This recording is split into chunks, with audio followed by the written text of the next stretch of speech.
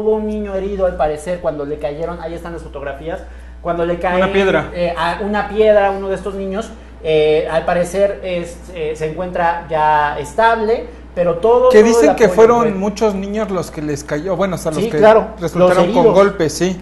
Oye, es, es una tragedia nacional, son 138, 138. muertos a nivel nacional. Así Eh, es, el- Morelos es el estado con más afectaciones, tiene 64 muertos.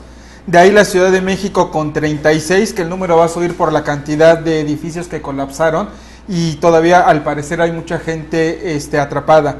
Después le seguiría Puebla en tercer lugar con 27 29. muertos, 29 Reforma. muertos. Estado de México tendría 9 muertos y Guerrero un muerto. Sí, están, están Hasta el subiendo Ya momento. mandé las fotografías de la gente que estuvo ayudando en la 31 Poniente, que fue la que nos tocó recorrer hacia San Andrés Cholula.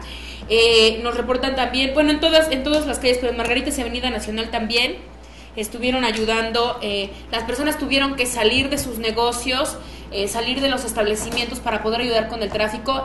El centro histórico fue un caos. Eh, había mucha gente también asustada por sus hijos.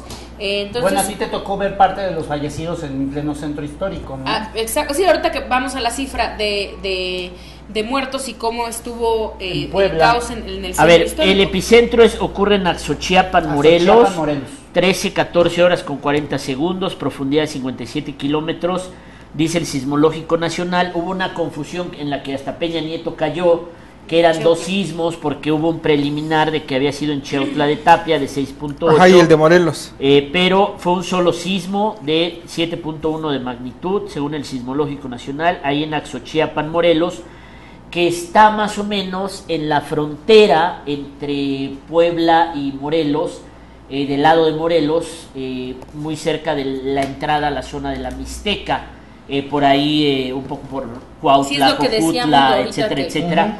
No en balde, el estado de. Morelos es el más golpeado. Dicen que hay pueblos destruidos por completo. Jojutla, Morelos dicen que está Que está- barrido del mapa, 80% de las construcciones destruidas. Eh, después le seguiría Puebla, eh, bueno, el- el- la Ciudad de México, porque dicen que son más de 80. 36 muertos hasta el momento. 36 muertos hasta el momento, pero más de 80 construcciones eh, que se derrumbaron. Sí, no han podido rescatar a toda la gente que está ahí, entonces no hay este contabilización todavía de Bueno, va a seguir creciendo, ¿no? El número de muertos eh, por este sismo. Eh, seguiría Puebla con 29 muertos, ¿no? 29 hasta El ahorita. Estado de México está eh, reportando creo que 9 muertos, ¿no? Todavía. Eh, Estado todavía- de México 9 y Guerrero 1. Y Guerrero 1 solamente. Ok. Melissa Galadriel Eh, Sánchez pregunta, hola, me acabo de conectar, pero ¿saben algo sobre las ratas cerdas que andaban asaltando? Pues mira, fue el reporte que se hizo, mm, siento yo que fue más de pánico, no tenemos ninguna eh, fotografía y todavía no nos pasan datos en la fiscalía de que se hayan presentado las denuncias. Oigan, nos parece pero- que más bien fue también del tema de pánico. Yo estuve circulando por la 31, Y por la recta. Cholula y Beatriz Cayot, no me tocó ver. Y este, fíjense que lo mismo sucedió en redes sociales en la Ciudad de México. Decían que en Periférico y no sé qué, Avenida Reforma, asaltando. que también estaban asaltando y a mano armada. ¿Les parece si empezamos por Puebla? Sí.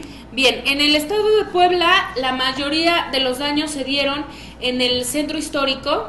Eh, tenemos Puebla ahí- capital. En Puebla Puebla capital. Sí, capital. estamos, est- estamos en la ciudad de Puebla. Estamos hablando, vamos a empezar a hablar de la ciudad de Puebla, eh, en donde se reportan siete personas que perdieron la vida. Eh, hubieron su- una eh, mamá y su hija que iban caminando. Ahí tenemos las, eh, tenemos el video en, en producción. Mamá e hija que iban caminando en la 16 de septiembre y la 11 poniente. Estas eh, dos mujeres es, eh, eh, fueron, eh, pues les cayeron las piedras encima de uno de los edificios. No fue un derrumbe. Normal, ¿no? fue, no, no es ahí. Ay, perdón. Dije 16 de septiembre y 11 poniente. Ah, Esta es la 11, el que, estamos es la viendo 11 acá. Sur. Caen las piedras de la parte alta de un edificio que la verdad el derrumbe no se ve significativo, pero lamentablemente ella- ellas iban caminando por ahí. Eh, está en el video de, el video grande que les pasé, en la primera parte, en los primeros cinco minutos. Eh, junto a las zapaterías Ponchito, para que se ubique. ah, ya. Ahí iban caminando estas dos, esta eh, señora y al parecer era su hija. Les cae, la gente las ayuda a sacarlas, pero ellas lamentablemente pierden la vida de manera instantánea. Se acordona la zona, estaban llamando a la ambulancia y yo estuve ahí parada media hora y la ambulancia nunca llegó porque también, digo, el, el- la ciudad era un caos. Y cuando llega la ambulancia por la calle, este, por la 8 Poniente, 11, 10, por la 9 Poniente, se sigue de largo porque no vio a la mamá y a la niña que estaban ahí eh, que habían fallecido. Se reporta también otro de los eh, problemas más eh, significativos en la ciudad de Puebla, el derrumbe de una parte de la preparatoria Lázaro Cárdenas. Lázaro Cárdenas de la UAP, en donde al principio se habían reportado dos personas que habían fallecido. 32 muertos ya. 32 en Puebla. Lo acaba de, de informar el gobernador. 32 Habrá que muertos acaba de Y informar el 27 gobernador. desaparecidos. Y Todavía hay. 27 desaparecidos. Es la cifra ¿Pero eso lo oficial dijo el gobernador? este Eso momento. no, bueno, yo no se lo O vi no sé, ¿tú dijiste 32? 32, sí. Sí. Eh, dice O y sea, sí, los 32, los 32 muertos sí están confirmados por y parte del 27 gobernador. desaparecidos. Los desaparecidos, yo no escuché que dijera lo de los Sí, desaparecidos. ¿eh? eh, 27 desaparecidos. Bien, Por eso te digo que la cifra centro. final sería arriba de los 50 muertos en Puebla, podría ser. Podría la llegar cifra final, 50 sí. muertos. Eh, La preparatoria se habían hablado, perdón, dos estudiantes que habían perdido la vida, no es así. Solamente el rector cometió un error, perdió la vida una administrativa, la otra estudiante que se había reportado que había perdido la vida, este, No la perdió. no, ya estaba en su casa. La La rescataron ilesa. Sí, ya estaba en su casa. Eh, preguntan si en Oaxaca no hay daños.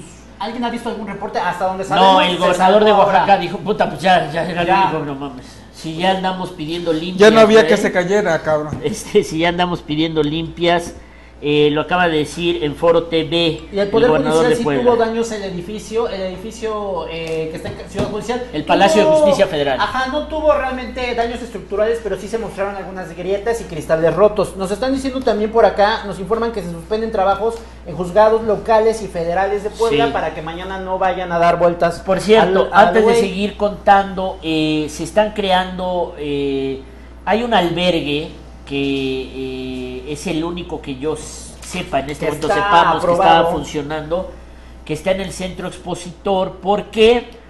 Porque ahora sí que el recuento de los daños va a ser largo, Largo y lento. y hay mucha gente que tiene miedo porque en las unidades habitacionales populares están reportando eh, y nos están mandando fotografías En la Ribera Naya. Recuerden que es, ya nos mandaron fotos de la Ribera Naya, de Bosques de San Sebastián, de la Margarita, de Valle del Sol. Recuerden que las cuarteaduras importantes, eh, las que tienen que ser notificadas a Protección Civil, son aquellas que están como en 45 grados, así, porque esas son las peligrosas de que dañan estructuralmente un inmueble